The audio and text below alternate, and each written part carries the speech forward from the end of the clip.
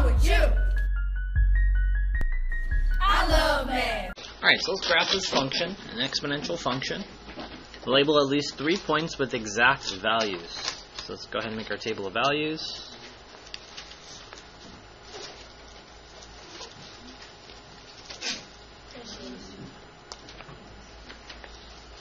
Now, we did this a couple of days ago where we kind of just evaluated, we got the x's and y's, and you can just graph your order pairs, but we're kind of putting that together. Okay, talk to your partner for five seconds. What do you think is the most important order pair for exponential functions? On the count of three, shout out something. Ready? One, two, three. Zero. I also heard the y-intercept, which means what's the order pair for y-intercept? Zero comma something. So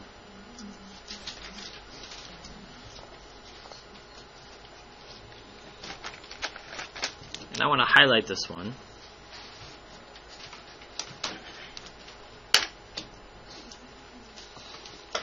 Okay. I'll show you by hand, and then you can just check with your calculator, right? Class, if I put in 2 there, does that mean 6 times 2? What does it mean? 6 squared is? 36. You put in a 1 there, what do you get? You put in a 0, 6 to the 0 power is? 1. Okay, getting a little tricky now. If I put in negative 1 there, what do you get? Remember, the all of that goes downstairs. That becomes 1 6. We can get a decimal later. 6 to the negative 2 is going to be 1 over what? 36. And the same thing we've been doing all year long. You're trying to not just put into the calculator, right?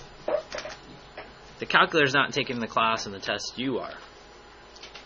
Okay, so let's kind of sketch our function.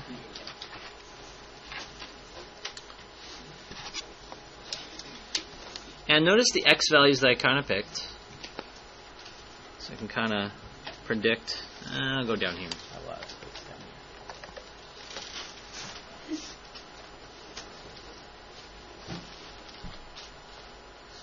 Class, do you think the exponential function will go in uh, below the x-axis? No.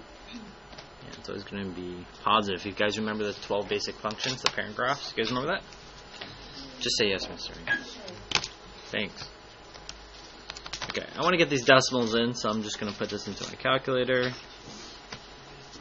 So I have 6, and then remember to get the exponent, you have to press the caret button.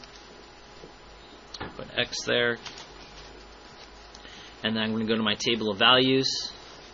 So I want to check my table set. Okay, so now we go back to the second table. And there I have some values. Now, I actually have it on auto, so you could just put in negative 2. And that's what 1 over 36 is. So let's write that number.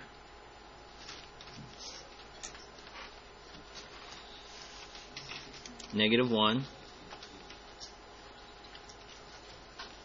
And while you're at it, you can just double check your answers. So 0, 1, and 2. Okay?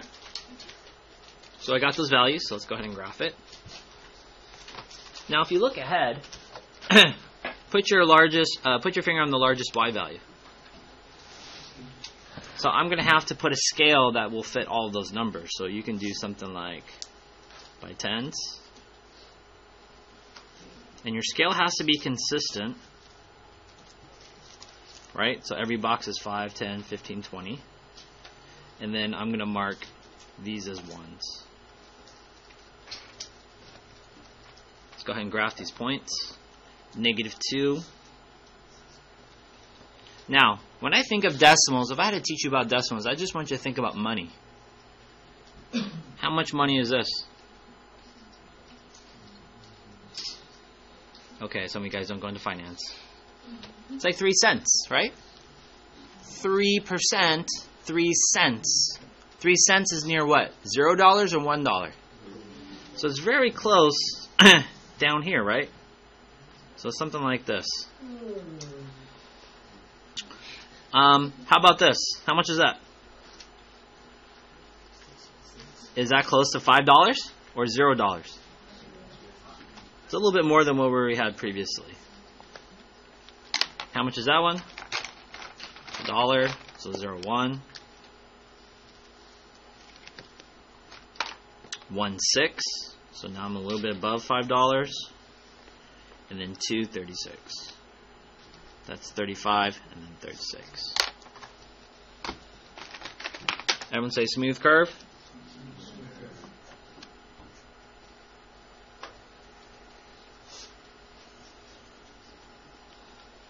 And I want to highlight one more thing, because this will be tomorrow's lesson. Class, what number goes there? If I had to put my, like my where my finger is, what number do you think is right there? You're just gonna add one? Can I add one million dollars to my bank account? What is here? Zero. Plus zero. Okay, this sounds kind of weird, right? This is the horizontal asymptote. you're going to see in transformations that your graph's going to basically move, and this kind of gives us a good idea where the graph will be. Okay? Love math. You don't love math? What's wrong with you? I love math.